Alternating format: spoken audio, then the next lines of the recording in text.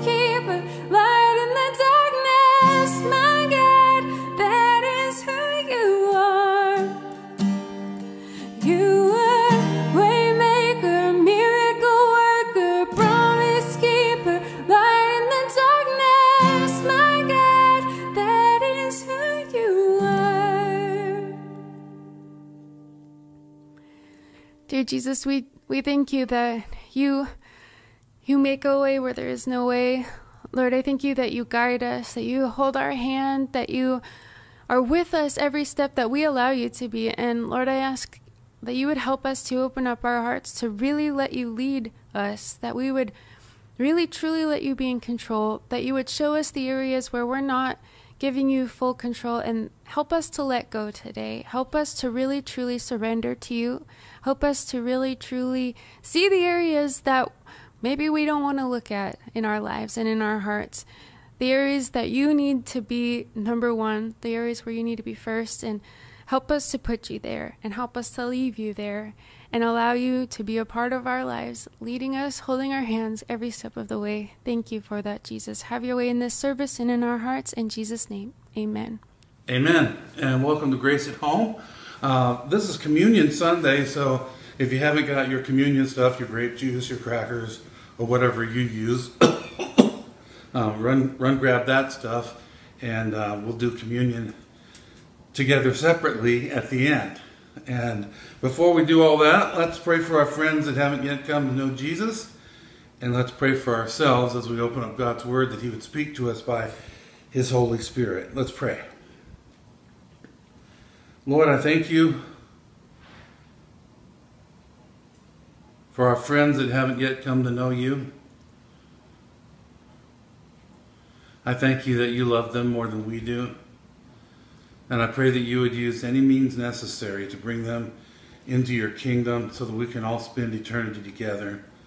And Lord, if you'd like to use us, we're available. Just show us what to do. And we'll do it to the best of our ability by your grace. And Lord, we thank you for your word. We ask that as we open it up, that you would help us to open up our heart to what you have to say to us. This isn't a time just to punch a time card and say that we were at church. But Lord, we want to hear from you so that we can be changed. That's why we're here this morning. So speak to us, change our hearts, make us more like you. It's in Jesus' name that we pray. Amen. Amen. We'll open up your Bibles to Luke chapter 6. We're going to start with the 27th verse and read to the 36th verse. says, But to you who are willing to listen, I say, love your enemies. Do good to those who hate you. Bless those who curse you. Pray for those who hurt you. If someone slaps you on one cheek, offer him the other cheek also. If someone demands your coat, offer your shirt also. Give to anyone who asks, and when things are, are taken away from you, excuse me, don't try to get them back. Do to others as you would like them to do to you.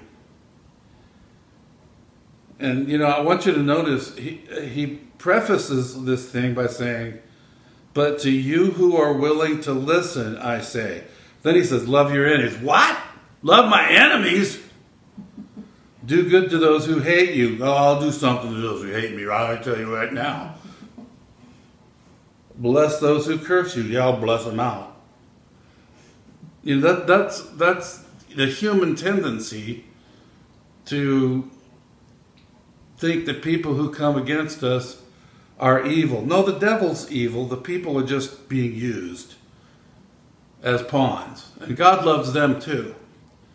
You know, have you have you ever stopped to realize that your worst enemy, God loves that person as much as He loves you, and He wants us to to learn to do the same thing. He goes on, verse thirty-two. If you love only those who love you, why should you get credit for that? For sinners love those who love them. And if you do good only to those who do good to you, why should you get credit? Even sinners do that much. And if you lend money only to those who can repay you, why should you get credit? Even sinners lend to other sinners for a full return uh, with interest. Love your enemies. Do good to them. Lend to them without expecting to be repaid. Then your reward from heaven will be very great, and you will truly be acting like children of the Most High. For he is kind to those who are unthankful and wicked. You must be compassionate, just as your Father is compassionate. We'll stop there. So, what is love? There's been song after song after song written trying to describe what love is. The world's definition of love is an emotional attachment or affection for someone. Love to the world is feelings based on someone might on, on what someone might do for you or to you. Therefore, when the object of a person's love in this way begins not to respond in the manner in which they are expected to, they stop doing the stuff that, that made the person love them. The person's feelings change and they say they are no longer in love. Well, a love like this is destined to die. um, God's love is not based on emotions at all. God's love is a decision to care for another regardless of the other person's response. That's love. That's what God has done to us. This kind of love will last forever. That's the kind of love God wants us to have for other people. So,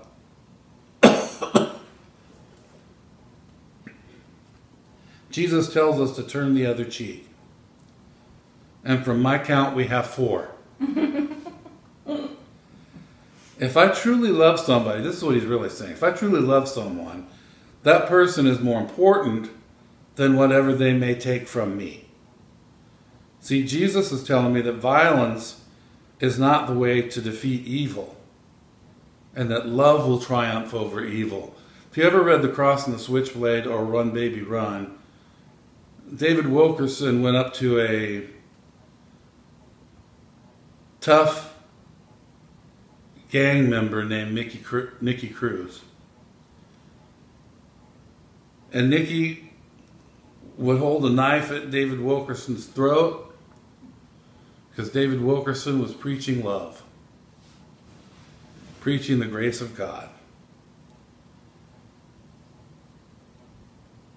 And he would just say to Nicky Cruz, God loves you, Nicky. Jesus loves you, Nicky. And Nicky would say, Stop saying that! And threatening to slit his throat. Which wasn't a, a, an empty threat. Nicky had slit many people's throats.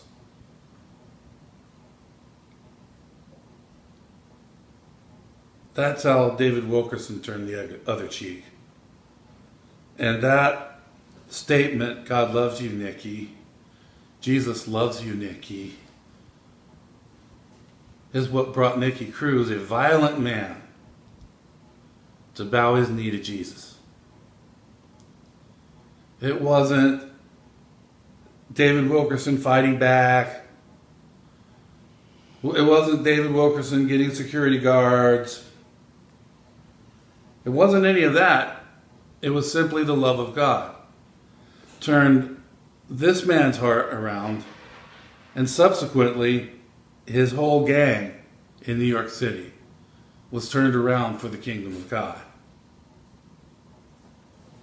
So, Jesus says that in, in our text this morning, 27 through 31, but you who are willing to listen, I say, love your enemies. What if David Wilkerson wasn't willing to love Nicky Cruz and decided instead to start a war with him. What do you think would have happened? Well, I guarantee you, Nicky wouldn't have come to know Jesus. Neither would the rest of the gang. He continues, do good to those who hate you. Bless those who curse you. Pray for those who hurt you. If someone slaps you on one cheek, offer the other cheek also, and the other, and the other. If someone demands your coat, offer your shirt also. Give to anyone who asks, and when things are taken away from you, don't try to get them back. Do to others as you would have them do to you. That's the bottom line. Treat other people in the same way that you would want people to treat you. Does that make sense? Mm-hmm. We call that the golden rule. But it doesn't go for just people who are nice. Kind of easy to do that for people that are nice, right? Yeah. Not so easy when somebody's cursing you, doing mean things to you, stealing from you, all that kind of stuff. And yet God tells us love that person too. Treat that person who's so nasty to you, treat that person in the same way you'd want to be treated. Yeah, but they're not treating me the way I want to be treated. That doesn't matter. So I've, I've done a lot of counseling with, with married couples, and um, it's so funny because one will behave badly toward the other and when you ask, well, why did you why did you do that? Well, he did this or she did that. It doesn't matter what the other person does. I'm responsible for what I do. Period. I'm responsible for me. Evelyn's responsible for her. Chase is responsible for him. Whitney's responsible for her. You got it? We're to do the right thing whether the other person is doing the right thing or not. Period. That's what Jesus is telling us here. A clear message. Those people who are your enemies, do to them, treat them the way you want to be treated.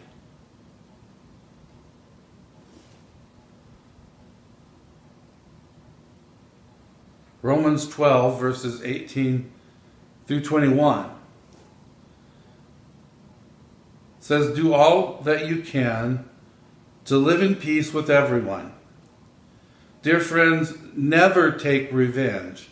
Never take revenge. Leave that to the righteous anger of God. For the scripture says, I will take revenge. I will pay them back, says the Lord. Instead, and this is going to sound like Jesus, if your enemies are hungry, feed them. If they are thirsty, give them something to drink. In doing this, you will heap burning coals of shame on their heads. Read that. Oh, I like the burning coals part.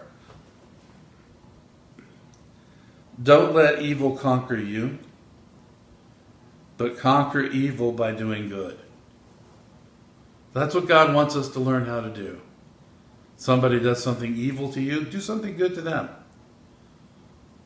Tell them how much Jesus loves them. I don't want Jesus to love that guy. I don't want that guy going to heaven. He'll probably live right next door and I'll have to see him for all of eternity. And I don't call that heaven. Everybody you meet, God loves that person. And God would like to turn that person around when they turn their life over to Jesus. See, you didn't just become, uh, you know, great guy or great gal on your own, did you? Wasn't it because you turned your life over to Jesus and He made a difference in your life? Mm-hmm. And we're all kind of working for that, aren't we? None of us are perfect. We will be when we see Him face to face, but none of us are perfect now. We're, we're striving to do that, but we're human still. Am I making sense? Yes. And that person who's doing you know evil towards you, well, if, if you let them be the focus of your attention negatively, you're hurting yourself. You're helping them accomplish what they're trying to do. They're trying to hurt you. Well, you're hurting you by getting so stressed out over that mean, evil person, right? When instead you could go and do something nice. You could bring them a gift. You could go out of your way to do nice things for them. And God says in that way they're going to feel shame about the way they've treated you. Hopefully, turn around and turn to Jesus. I hope that makes sense. Romans 2 4, 6. Hey, who do we appreciate? Romans 2 4. Don't you see how wonderfully kind, tolerant, and patient God is with you? Does this mean nothing to you? Can't you see that His kindness is intended to turn you from your sin? His kindness is meant to turn us towards repentance. God's kindness. Not his anger, not the fire and brimstone. Now, we, we know he could do the fire and brimstone anytime he wants to. Not the lightning. No. How kind he is to you. Has God, has God done stuff for you that you didn't deserve but he just did it for you because he wanted to. How many of you had that happen? Evelyn and I have had that in abundance.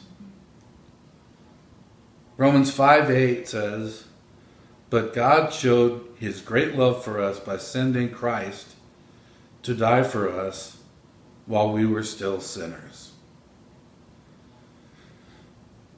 In another place, it says, that while we were God's enemies, Christ died for us. See, he did what he's telling us to do right now. Excuse me. So, love your enemies. How? Good question. I asked that question a lot when I first read this.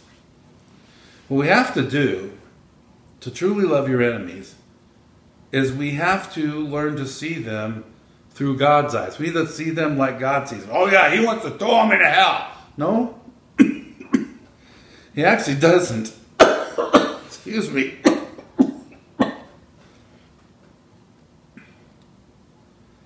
God actually wants everybody to go to heaven.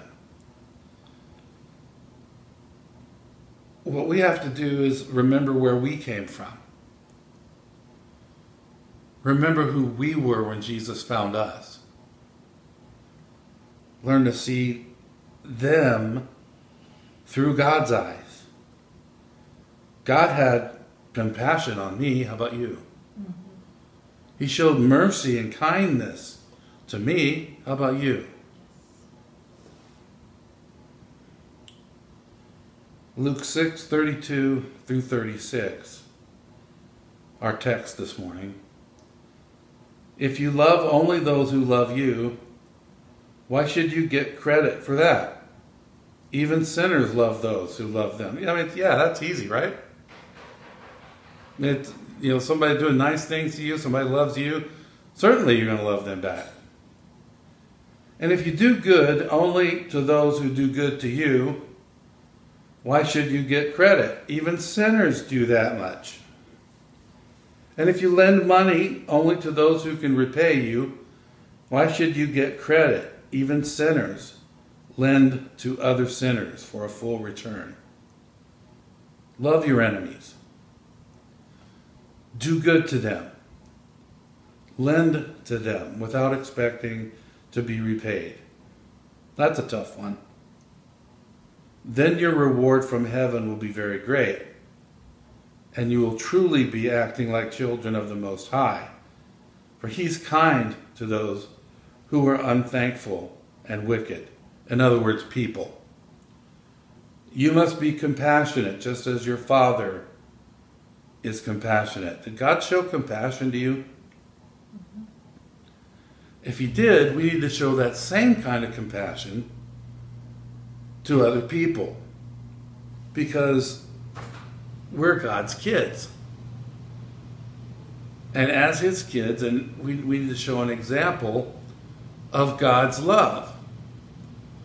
And that comes by seeing, you know, people who do mean things,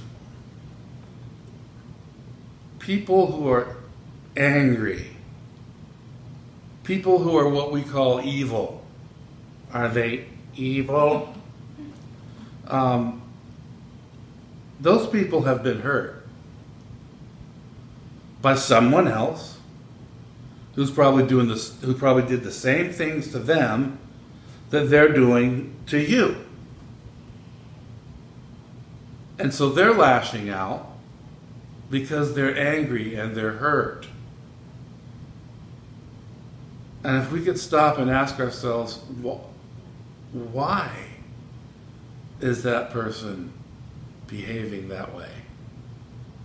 Well, because they're hurt They've been injured, they've been wounded by another person who's probably acting the way they're acting. Am I making sense? Yeah. And so then we can have compassion on them, even though they've been hurting us. And we can start actually praying for them, not praying against them. A lot of times people read these passages, I'll pray for them, God get them. It's not the kind of prayer he wants us to pray. He wants us to legitimately pray God, would you please help this person heal up from the wounds of their life? And if I can help in that aspect of things, I'm available. I think that's how God wants us to start praying for them so that we can then see them through His eyes. He sees their hurt. He's not sitting around wondering what the hurt is. He knows what it is. Romans 5 8 through 10. But God showed his great love for us by sending Christ to die for us while we were still sinners. And since we have been made right in God's sight by the blood of Christ, he will certainly save us from God's condemnation. For since our friendship with God was restored by the death of his Son, while we were still his enemies, we will certainly be saved through the life of his Son. See, it says right there plainly we were restored to friendship with God while we were still enemies. Well, I wasn't God's enemy. Yes, you were. Before you were following him, you were his enemy. Because you're either on God's team or you're on the devil's team. Does that make sense? Yes.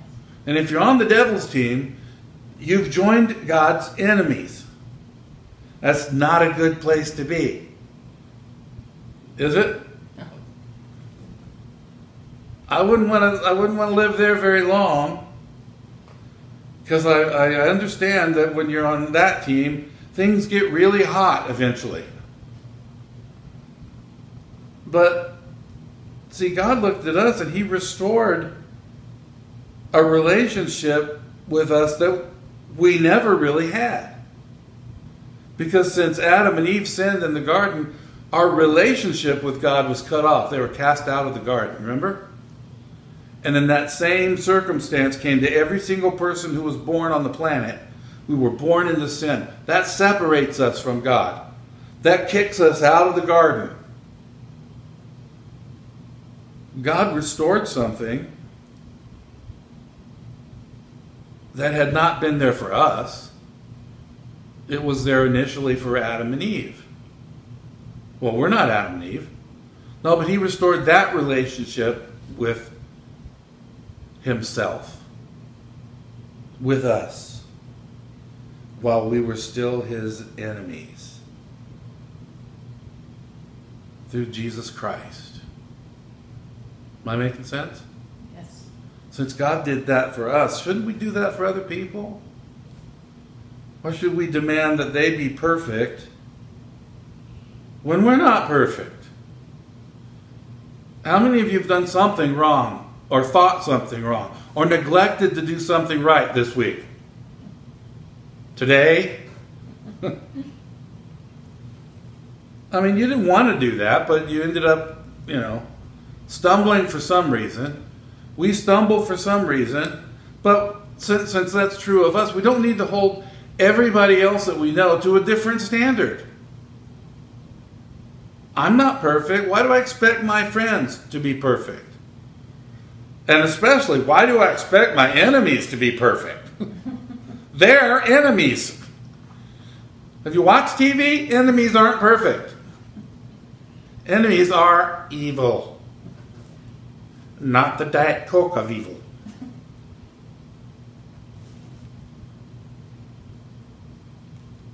First John 4, 10 and 11 says, This is real love.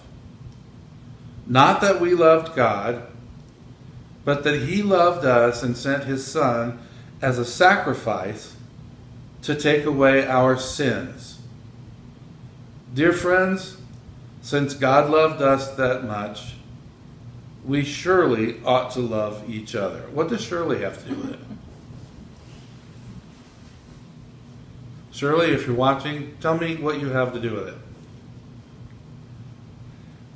But this is real love. See, what the world calls love is, is mostly lust. What the world calls love is taking, when God's love is giving. Love that's taking is not real love at all. When you really love somebody, you look to make that person's life better. You look to do good things for that person. You don't do good things for that person so that they'll do something for you. That's not love, that's bargaining. and I'm sorry, some marriages are built on bargaining, not love. And they're not destined to last. But this is real love. Not that we love God, but that He loved us and sent His Son as an atoning sacrifice to take away our sins. So many people are waiting for that other person to do something good for them before they will love that other person. Well, God didn't take that stand. He didn't wait for us to stop being His enemies. Real love is that you take the first step. You take the first step towards that evil, mean person that's uh, that you call an enemy, not an enema, but an enemy. I think we can all agree we don't like enemies. But God took the first step. You should take the first step of showing love towards that enemy. He took the first step by sending Jesus. And he says, Dear friends, since God loved us that much, we surely ought to love each other. I'll add something that much, that way. Because that's what love is. The question is do we really want to be like Jesus? Well, after you're reading that stuff, I'm not sure.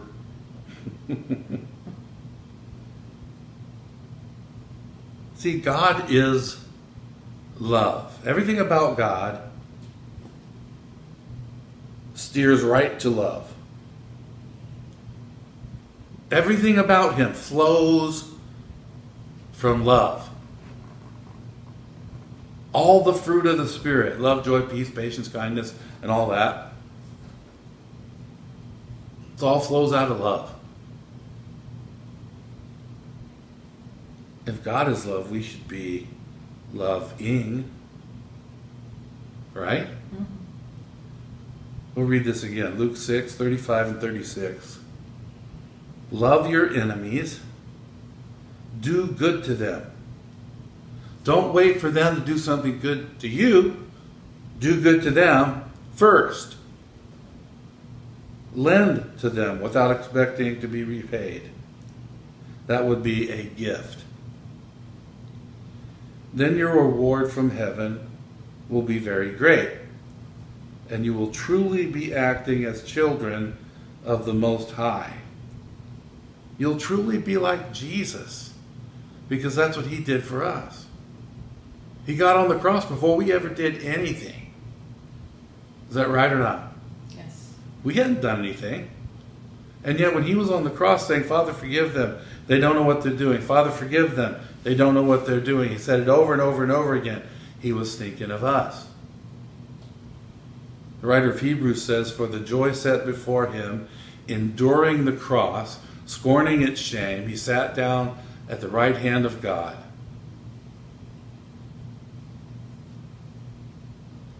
For the joy that was set before him you and me and all the other people who have believed on his name for salvation. That was his joy.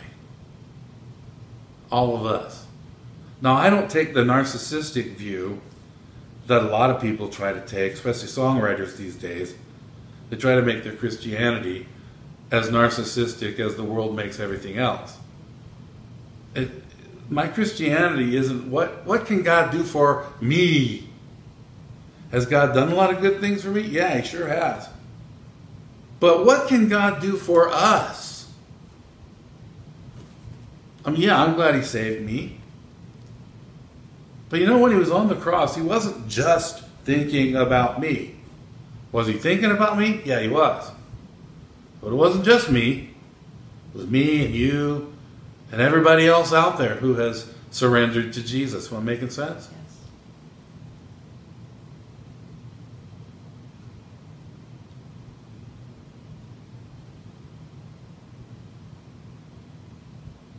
And it goes on to say, For he is kind to those who are unthankful and wicked. You must be compassionate, just as your Father is compassionate.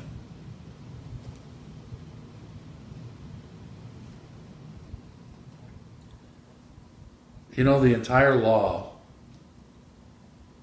is summed up in two commands, and they're basically summed up in this sentence love God and love people. That's what he wants us to do. He doesn't want us to love God and love certain people. No, He wants us to love God and love everybody. And when we see somebody acting wickedly, we should feel sorry for them. because they're caught up in the devil's plan for their life. God doesn't have us do wicked things, right? God doesn't ask us to do evil things. God has never asked you or me to steal from somebody. God has never asked you or me to murder someone. Has he? No.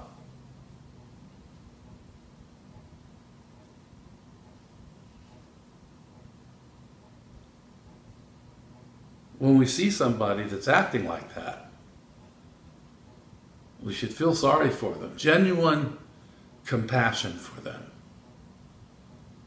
We should genuinely say, I, I, I really hope that somehow Jesus will get to that guy and turn his life around. I know it's silly, but I find myself watching movies and TV shows and praying for the people in the movie. you ever done that? Anybody? Evelyn raised her hand. I'm not the only one. But it, you know, it's sort of a habit. You see somebody going through something a hard time, you start praying for them. Oh Lord, please help Superman get away from the kryptonite.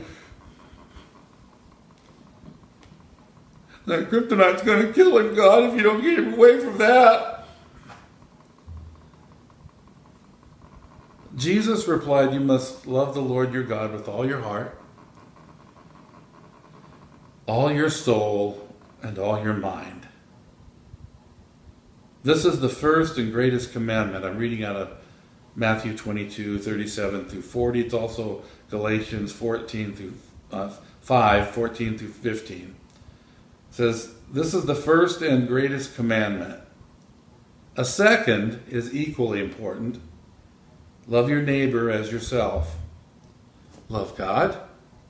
Love people. The entire law and all the demands of the prophets are based on these two commands. They're based on two sentences. One sentence, actually, two phrases. Love God and love people. It's simple if we boil it down to that.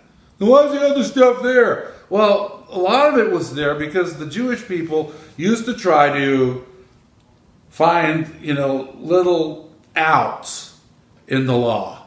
The law said do not lower a, a, bucket into a well with a rope on the Sabbath day. So what would they do? They would tie their belts together and lower a bucket into the well on the Sabbath day. You think they missed the meaning, the, the, the real spirit behind the not lowering the bucket? Had nothing to do with the rope. Had everything to do with the bucket. And God knew they were like that, so he had to, he had to spell everything out ad nauseum. Have you noticed most of everything in the in the first five books of the Bible when talking about the law? The law is the law is repeated over and over and over again, so they'll get it into their head. But it's it's simple: love God and love people. Treat other people in the same way you would want them to treat you.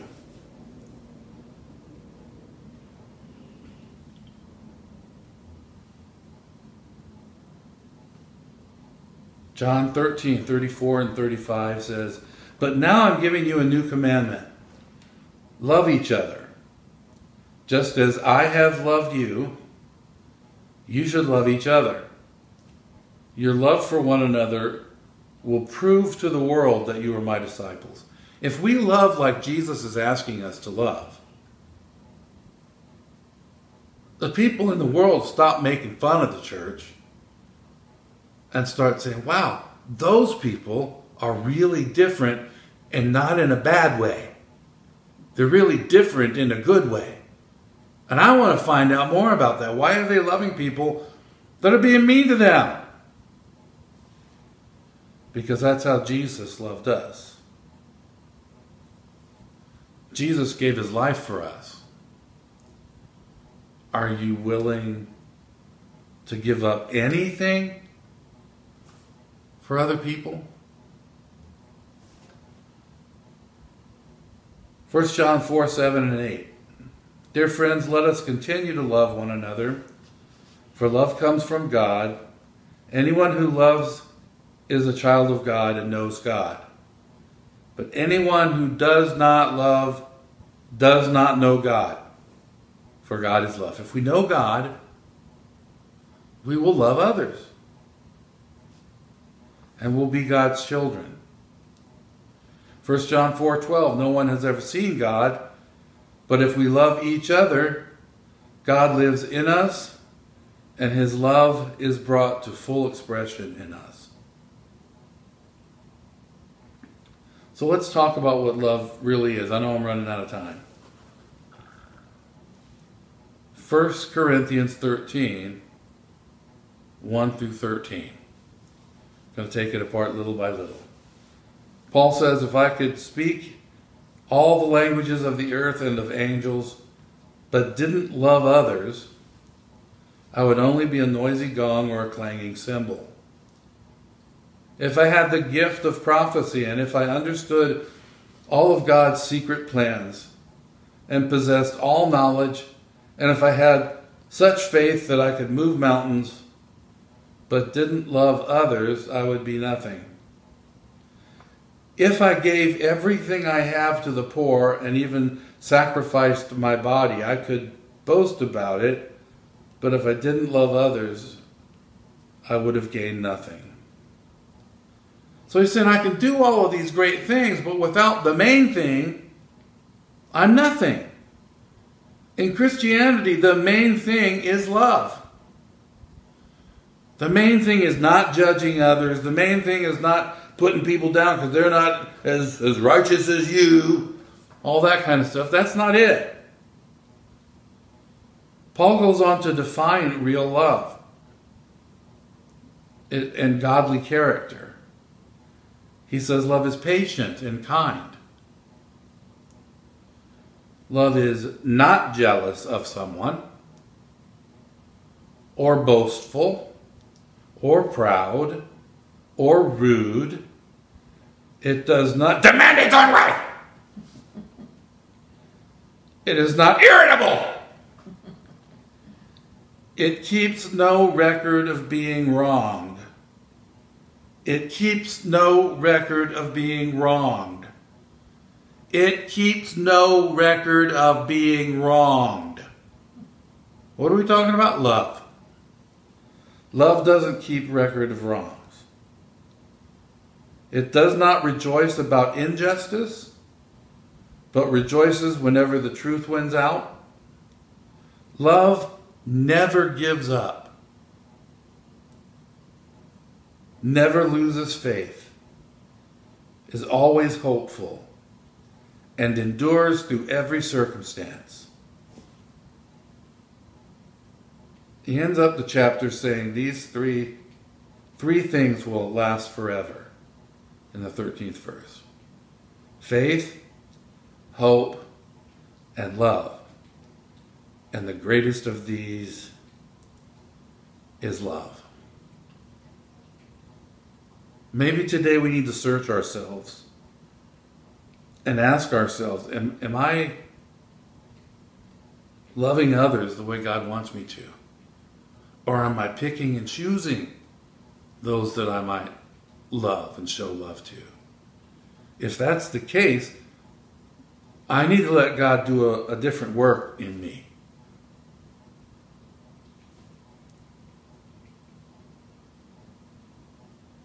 And we need to let Him do it so that the world will know that God has sent Jesus. So let's decide today to love even those that are unlovely. Let's look at people through God's eyes and become merciful.